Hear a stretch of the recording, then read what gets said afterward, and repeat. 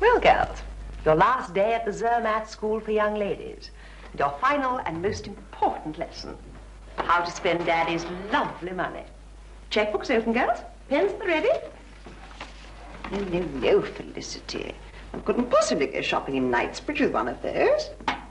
A pen with style, a pen with elan, a Parker Lady in white rolled gold.